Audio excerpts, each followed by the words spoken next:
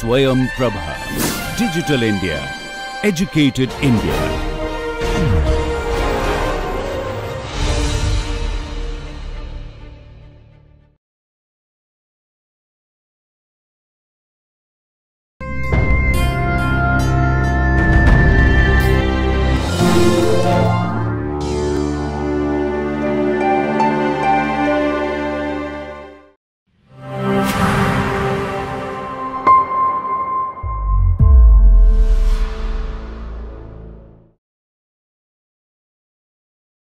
Hi everyone, welcome back to the 20th lecture of Spatial Statistics and uh, Spatial Econometrics. This uh, lecture will be the last lecture in the series uh, while we transition to tutorials on ArcGIS and R. And today's lecture uh, will talk about two broad, you know, concepts. One is the Lisa principle and spatial dependence uh, test statistics called the Moran's-i statistic and the Geary-C uh, statistic. And then finally, we will introduce a little bit of hypothesis testing in the spatial regression models, right? So to do a bit of, uh, you know, recap, uh, we started out this course by looking at a lot of uh, spatial data sources, uh, including the popular ones that are being applied for various contexts. And then we spent some time in developing the idea of spatial dependence formally uh, using, uh, you know, the statistics like the variogram, the covariogram, and, and then we came on to this understanding of spatial interpolation, right? In this journey, we have also uh, figured out the importance of spatial stationarity, uh, without which none of the statistics that we have seen till now including the regression modeling, uh, you know, uh, uh, uh, makes sense if our data are spatially non-stationary, right? So I really encourage you that, you know, going forward, as you apply these tools and, you know, in your respective research problems or, or any type of uh, setting that you apply them, uh, you should give a very hard thought and look to your data and your context and worry about stationarity, right? If you think that you cannot perfectly argue out stationarity, but still you have some ideas of where, in what conditions, uh, you know, the data might be stationary or might not be stationary, those need to be seriously documented whenever you produce such results, right? Um, in this journey, then we have looked at this idea of spatial regressions and we made this transition from regressions uh, as, uh, you know, statistical tool to a causal inference tool right? Therein, we mobilize this idea of, of reflection problem uh, due to a seminal paper by Charles Manski, right? And, and, and from there, we have then, you know, seen Luke Anselin's uh, sort of a school of analysis using spatial weights and spatial weights matrices in order to conduct spatial regression analysis, uh, uh you know, uh, to, to model spatial dependence through either errors, regression error terms, or as a mean outcome uh, term in the regression model, right? Today, we are going to continue that uh, line of thought and we are going to look at these univariate statistics that you can look at, you can, you can, uh, you know, see them as a counterpart to the variogram uh, uh, model or the covariogram model and, and think of them as an alternative to uh, detecting spatial autocorrelation in data right? The fundamental difference between a variogram and a uh, statistic, for example, on your screen, you're looking at this name called the Moran's-i statistic, which is a popular statistic to detect, uh, uh, you know, spatial autocorrelation, is the dependence on your weights matrix, right? The dependence on a row standardized weights matrix is what differentiates the Moran's-i statistic or the Geary C statistic from what we looked at, the variogram statistic, which is a fundamental, uh, you know, uh, tool in order to document, detect, measure spatial dependence in data, right? So let's begin. So uh, we are going to talk about detecting local spatial autocorrelation based on neighborhood weights in the first part of this lecture. And here this lecture can be seen as divided into four, three, uh, you know, broad Uh, uh, parts. The first is called as the LISA principle. LISA is an abbreviation for local indicators of spatial association and we will go over this in detail in a minute. And then we will look at two popular statistics called the Moran's statistic and the Geary-C statistic, right? I will just write out the overall aim of this part, you know, of, of lecture 20. So here, the first aim is to identify, identify location of spatial clusters okay? And the second is to assess the extent or degree of spatial autocorrelation in data in data and comment upon the statistical significance properties.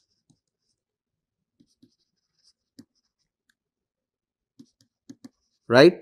I mean, signif statistical significance of what? Of the measure of a degree of spatial autocorrelation. That is going to be either the Moran's-I statistic or the Geary-C uh, statistic. Okay. So, the first thing first, we are going to talk about the LISA principle, right. So, LISA principle. Okay. As remarked earlier, uh, LISA is short form for local indicators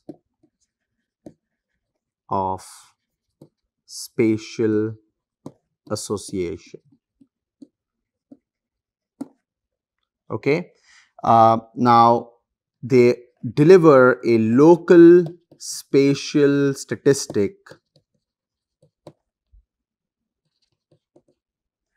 uh, for each location. So, we can say location based uh, you know spatial statistics. So, I am going to I am going to say that. I am going to modify my last sentence and make it a little bit more concise.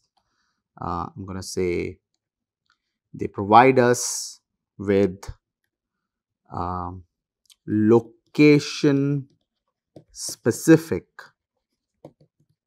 uh, uh, spatial statistics.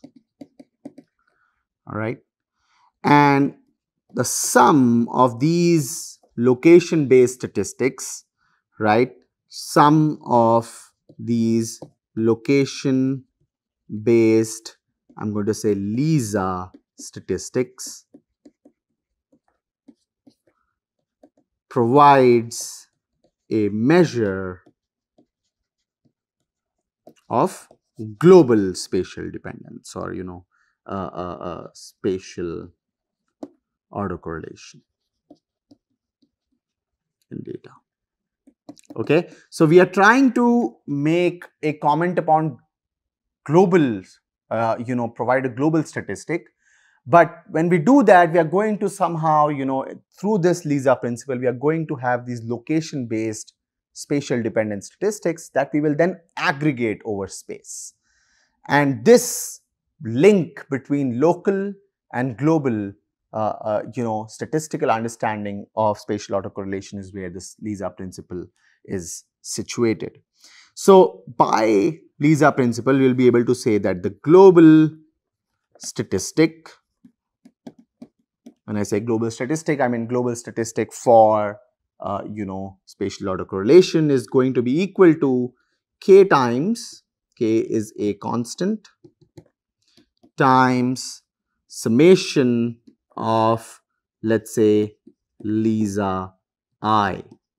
So, a statistic that we evaluate, uh, you know, you can say a component, you know, a local statistic at location i right. So, local meaning location I based, right, local statistic for spatial autocorrelation.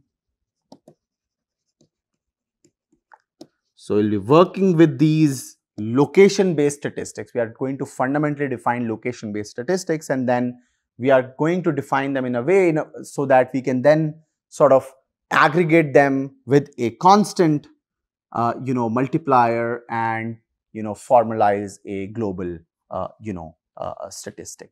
Okay. So that's about the LISA principle. And now two popular statistics based on this principle are the Moran's I statistic and the Geary-C statistic. Now, Moran's I is a more, uh, you know, recent uh, uh, statistic, more popular statistic. So, I'm going to spend a little bit more time on that and, uh, you know, give you just a gist of the Geary-C statistic, which is based on the same principle. So, uh, what we discuss for Moran's I will also, quite a bit of it will apply for Geary-C, but we will also see how they are different and, and some, you know, broad introductory details.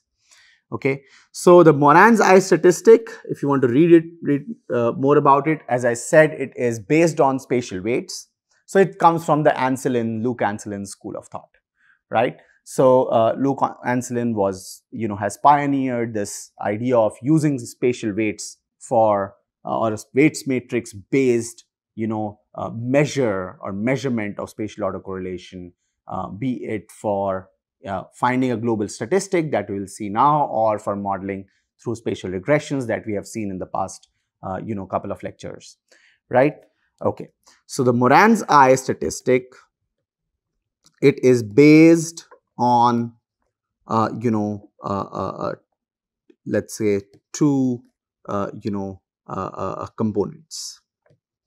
Okay. So, two fundamental components of the Moran's I statistic is first a row standardized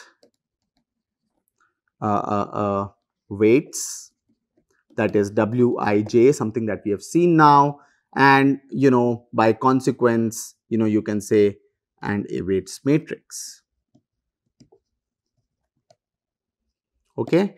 A weights matrix i'm going to say w tilde because you know previously we saw W is a weights matrix which has a binary 0 1 characterization between whether uh, you know the row representation I are neighbors with column representations J and the row standardization basically normalize for the uh, you know degree of interconnectedness for these uh, you know for these uh, uh, uh, spatial units right so, we are talking about row standardized weights and a weights matrix entering these uh, the Moran's I statistic. Now, I am using when I am introducing I am saying W tilde, but you know as I go forward just for uh, you know uh, uh you know just for clarity if I use W I am basically talking about row standardized weights. I am now never going to talk about non-row standardized weights.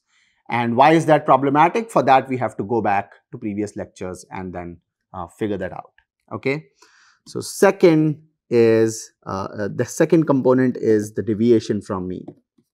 Now, that's simple, right? So, I'm going to say this say this is Zi, right? So, deviation from the mean and a spatial weight are two components uh, that comprise uh, you know a Moran's I statistic. Then uh, Moran's I at location small i okay is denoted as under okay.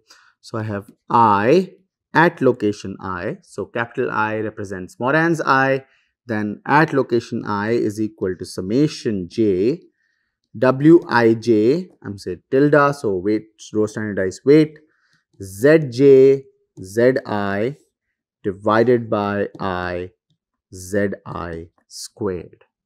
Okay, and of course, this location i represents, let's say, if I had a domain of interest d, right?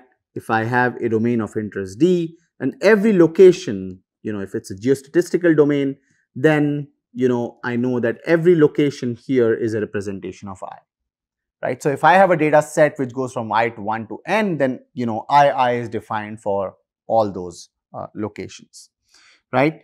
Uh, now given given that zi is or represents, let's say represents represents deviation from mean mean uh, uh, we can we have something like an underlying process x such that zi equals xi minus x bar right? So that is what uh, you know deviation from mean really means. And so i can rewrite ii as summation j wij xi minus x bar xj minus x bar divided by summation i xi minus x bar the whole squared.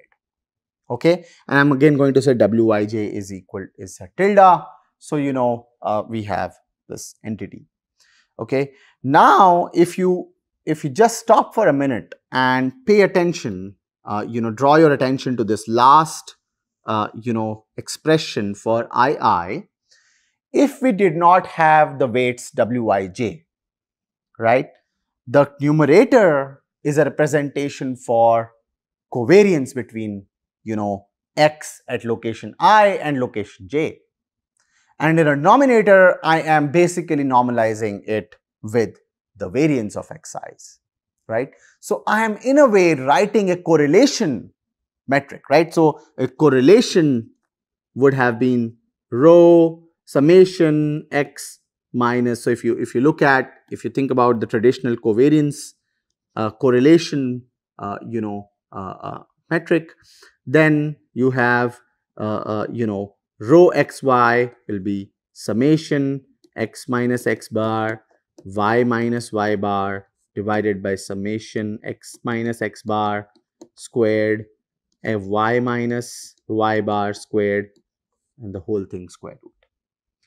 When we brought this to the spatial setting and we defined what was called as the correlogram, right? In that scenario, you know, so if I say rho spatial, you can go back and look at the correlogram. There it was C xy over C 0, right? Now, if I remove the weights, all I'm looking at is a correlation metric, right? A correlation, a traditional correlation metric enhanced by spatial weights is the Moran's-i statistic. Okay, it's as uh, you know uh, uh, starkly similar as that. Okay, so let's with that thought you know develop uh, uh, this uh, develop this you know concept further. So note, okay, so again notes we have said this now.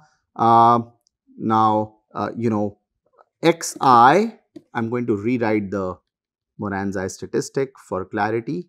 Let's rewrite it on this page and then move forward. So I have II. I'm just writing this out from the previous slide. Summation j wij tilde xi minus x bar xj minus x bar divided by summation i xi minus x bar the whole squared. Okay. Now, you know, notes uh, xi minus x bar in the numerator, okay. So, I am talking about this, this term here, right. xi minus x bar in the numerator can be taken out, taken out of the uh, uh, uh, uh summation operator.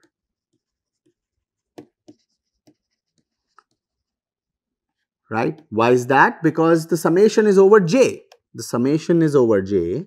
So with respect to j, xi is a constant. So I don't really sum xi. Once I fix a location i, xi minus x bar is a constant, right? So that means this term can come right out of the summation operator, right?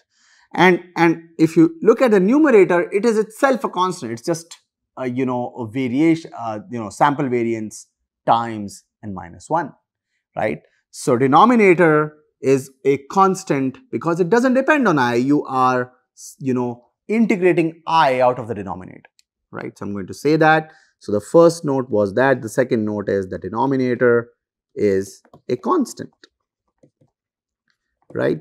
That is what I'm trying to say is that it does not does not depend on i. Not very hard to see. right?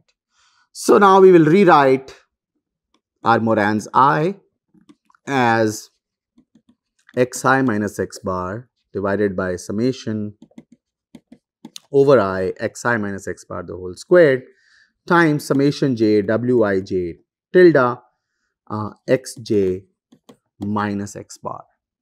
Okay, this can be then further written as xi minus x bar is zi, that's the deviation from the mean, summation over i zi squared summation j wij tilde zj. Okay, now clearly this term sitting outside the summation j term is a constant, right? We can say a constant a. So then I can write this term as a times summation j wij tilde zj, right? And as I've mentioned earlier, the Lisa principle, right? I apply the Lisa principle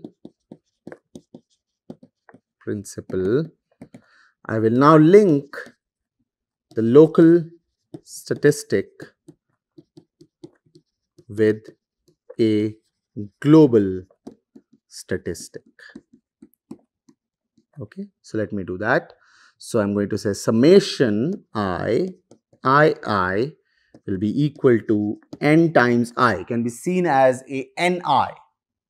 Okay, so as if I am summing n times i's you know, at each location. So if, if the local correlation was a, a constant at each location, I can, I can think about, you know, uh, global average being capital I and n times that local, uh, you know, global average is going to give me the sum of each individual unit providing me a correlation, uh, you know, spatial correlation metric that is the Moran's I. So this would mean that I can be written as summation i, i, i over n and this i is termed, termed as the global Moran's I statistic. Okay, and and clearly the global Moran's I statistic is an average of the local Moran's I statistics statistics evaluated at locations i in our sample data. Okay, so now we have sort of you know developed this global idea of a global spatial uh, you know autocorrelation metric that is the global Moran's I and of course, once I have a statistic, the next step for me is, okay, what's what about statistical inference? What about the confidence intervals on this statistic? Okay, so that's that's the next natural step. Uh, the next natural step is inference, inference on or for the Moran's I statistic. Okay, the inference for the Moran's I statistic. So I have II which is equal to xi minus x bar over summation i xi minus x bar the whole squared summation j wij uh, xj minus x bar. Okay. Now the next step is to define define a z score I'm going to say ZI score, right? So Z score is for, for constructing the, the 95% confidence intervals because it's Z for every I because I'm looking at Moran's I at location I. I'm calling it ZI score for the lo local Moran's I statistic II. Zi is going to be equal to II minus expectation of II divided by the standard deviation of II that is the variance of II square root. Okay. Now, this is a standard, standard definition for any you know, uh, uh, uh, you know, uh, statistic for which we want to, uh, you know, conduct statistical inference. The question is how do we construct these entities, expectation II, where do these come from, right? So, to construct them, we have a computational module, right? So, I am going to say expectation of II and the variance of II are computationally evaluated. Evaluated. Okay. So, there are several steps. So, we, I'm going to go over these steps. The first step is to hold value or location fixed at location i. So, I have a data set, okay. I have a data set, here is my data set, okay. There are the locations i, j, k, l. So, these are the locations for which I have data observed over an irregular lattice, okay. So, the data are, you know, irregularly spaced and all that. And each location that I observe the data can be thought of as location i. So, I am going to go at, so for, uh, for example, if, if these were groundwater values, then at every i I am going to observe groundwater values. Okay. So, what I am going to do is I am going to go at location I and I am going to fix the value of groundwater level at that location. That's step 1. What's step 2? Step 2 is randomly permutate, random permutate or permute remaining n minus 1 uh, values, uh, right? What does it mean random permute uh, n minus 1 value? So, I have fixed, I have fixed the value at location i, right? For all other locations, I am going to now randomly assign the values for the remaining n minus 1 values. So, I have my bag of n values, right, at different locations. I am going to pick one and hold it constant. The remaining n minus 1 in my bag, I am going to randomly assign them to all the other locations. Okay, so it's it's kind of a it's kind of a Monte Carlo, right? So it's simulation. That is a, that is what I'm trying to do, right? So say I have a sequence of values, you know, 2, 4, 6, 8 and 10. Let's say I have 5 location data for 5 locations and this is the bag of values I have, right? Let's say I go to location 3 and I fix the value at 6 okay. So, I go to location 3 and I have fixed my value at 6. Now, for the remaining, I have values 2, 4, 8 and 10 sitting in a separate bag. This, these are the ones that I have not fixed. I have not held them fixed. So, what I am going to do is now with replacement, I am going to randomly just assign these values at different locations. Okay. I'm, I'm somehow simulating a process of generating the data. Okay.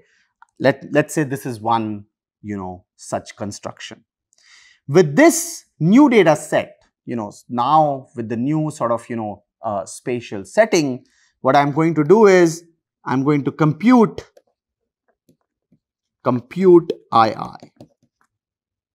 Okay. So I'm going to compute II. And now this is the this activity I will do for every location i. Okay, for every location i, I go in, I hold, hold the value fixed, and then I you know uh, uh, uh, you know randomly assign the remaining values to all other locations, and then I compute my ii. Right for each permutation, and each permutation basically means location because the permutation is tied to location, right? So when every time I permute, I'm basically at a location i, i plus 1, i minus 1, i plus 2 and so on and so forth. Okay. Now, third step is to repeat uh, steps 1 and 2, steps 1 and 2. So, I'm going to say 1, 2, 3 many times. I'm going to say say m equals 500 times. Let's say I repeat these steps 500 times. I've really simulated the process of spatial construction in the data in every possible way, right? And as step 4, I will get the mean and standard deviation of IIs drawn from 500 iterations. Okay, the set of IIs now I have for each, you know, each of these iterations. I'm going to collect them, get the mean value, get the standard deviation, right? And, and, and also I can draw confidence intervals, uh, you know, in terms of the fifth and the 95th percentile values. All right. So, so basically what I've done is that I've gotten this mean. This mean relates to this expectation II. The standard deviation here relates to this variance of II square root, right? But I've now not, I've not gotten to them analytically, rather I've gotten them computationally or using, by using simulations, right? Now, all of this is done on the software. We don't really do it. And in the next module, we are going to actually transition and start doing these things, right? What, what is important is to know what the software is doing behind the scenes. So that if we see some results which are, you know, which we feel are, you know, something that we didn't expect, then we can, we can at least try and address those things. Okay. So the output, output uh, on, you know, ARC map or ArcGIS, something that we are going to start as the next, right next module after this lecture is going to sort of provide me what is called as a cluster and outlier analysis of Moran's I uh, based on a five color scheme. Okay, it's basically going to give me, you know, once I calculate Moran's I, the output will have five a five color scheme, right? And that scheme will have five categories basically in different colors, which says it will say not significant, uh, high high,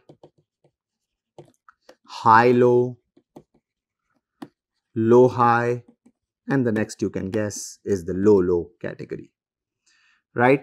And it'll say, when it says high, high and low, low, it's going to call it a cluster. Cluster that agrees with positive spatial correlation of nearby values, right? And high, low and low I, high are going to be, you know, identified as outliers and some of those are going to be not, not statistically significant. So the Moran's I globally is not going to provide me, you know, I have a global statistic, but locally you may not have spatial correlation, spatial dependence in data in some regions and it you may have it for other regions, right? So, so this kind of distinction is directly, you know, feeding, you know, I will say feeds directly into the tutorials on ArcGIS. And, and, and last thing I want to talk about in this part of the lecture is the Geary's C statistic. Now, the Geary's C statistic, you know, looks pretty similar, by the way, to the Moran's I statistic. It's given by n minus 1, capital N is the size of the data, summation i, summation j. So, instead of just summation j, we have summation i and j. Row standardized weights, xi minus x bar the whole square divided by 2 summation j wij uh, summation i xi minus x bar the whole squared. Okay. Now, you know, we know that wii is equal to 0 for every i, right? And the interpretation, I'm going to provide the interpretation here is that Geary's C is inversely proportional or proportional proportional to Moran's I. So that means if Moran's I provides a signal of a positive correlation, then Geary's C is going to provide a, you know, a lower value. So if Moran's I is higher, Geary's C is going to be lower, right? Ci can is always greater than 0, but you know it it is unbounded on the higher side, right? So it can, you know, technically go to infinity. When Ci is less than 1, that is to say that Ci is between 0 and 1, then it represents a, a increasing positive spatial autocorrelation positive increasing spatial autocorrelation as Ci is decreasing. And whenever Ci is greater than 1, right, that means, you know, Ci is more than 1 and, okay, then it will represent situation of increasing negative spatial autocorrelation as Ci is increasing. All right. So, as Ci basically increases overall, you can you can think about it as a measure of decreasing uh, positive spatial autocorrelation. In fact, when Ci is greater than 1, you can uh, think of that situation as a uh, as one of uh, you know uh, uh, negative spatial autocorrelation. Okay. Some notes of caution. Okay. First, both Moran's I and Geary's C are exploratory statistics. Okay. We can at best talk about correlations. We can't really talk about causations. We can't say the that an entity in a neighborhood is causing behavior at, at, at the location of interest. No, they are just associated. So, they are merely explorations and both these statistics assume that the underlying processes are same. So, that is they assume stationarity, okay? Assume stationarity.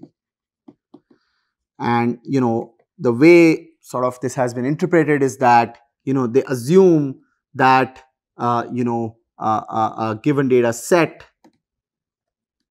given data set is in a spatial equilibrium. So, in a way that there is no transitory processes in the underlying data that we are looking at. So, we are looking at land use transitions, then this statistic can be problematic. Okay. And finally, something that I have already said is that these statistics are, uh, are strictly univariate right. So, they are univariate only, they have no utility in multivariate analysis that you have already seen with uh, you know spatial regressions. Okay. So, with that this is an introduction of the Moran's I mainly. I have given you some notes of Geary's C. Moran's I is sufficient for our purposes in this course and for most applications and it is a far more popular statistic today. It is based on the spatial weights. So, if you do not have a definition of spatial weights, you can't really get to a Moran's I right? And I'm ending this lecture at this part of the lecture with a caution, some cautionary notes. And I want to sort of drive a point home that, you know, we have more sophisticated tools at our disposal in terms of the variogram models in order to infer upon spatial autocorrelation. So perhaps even though this tool is available, perhaps we have a more advanced or fundamental understanding of how to measure uh, spatial autocorrelation for very sophisticated, uh, you know, uh, uh, surfaces. Okay. Uh, with that, I'm going to end this part of, you know, the first part of lecture 20. we'll have a very short second part where we'll introduce hypothesis testing for spatial regression models and uh, then we'll move right on to the tutorial. So, thank you very much for your attention.